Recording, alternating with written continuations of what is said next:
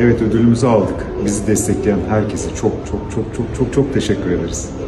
İyi ki varsınız. Sizi çok seviyoruz. Yeniden bu ödülü sizin sayenizde aldık. Çok teşekkür ederiz. Sizi çok seviyoruz. Çok seviyoruz. Herkese merhaba kanalıma hoş geldiniz. Yepyeni bir video ile yine sizlerleyiz. Kanal 7 ekranlarının sevilen günlük dizilerinden olan Esaret dizisinin başrol oyuncuları yılın en efsaneleri ödül gecesine katıldı. Ödül gecesinden görüntüler sosyal medyada yayınlandı. Genç oyuncular yılın en efsaneleri seçildi. Ödül kazanan oyuncuların mutlulukları gözlerinden okundu. Biz de genç oyunculara başarılar dileriz. Kanalıma abone olmayı lütfen unutmayın arkadaşlar. Bir sonraki videoda görüşmek üzere. Hoşçakalın.